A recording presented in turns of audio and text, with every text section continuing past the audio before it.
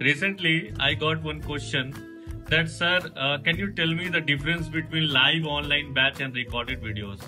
So I just want to answer in a general way, guys. So when you are going for a recorded videos, just go ahead and check the success rate. The success rate is only 5 to 10% guys. The reason you know, right?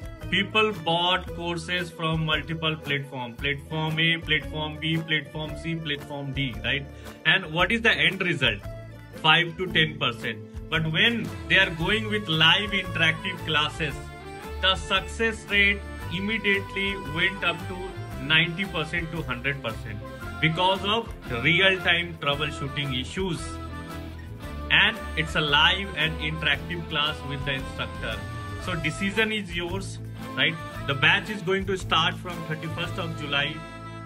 And the link is in the description guys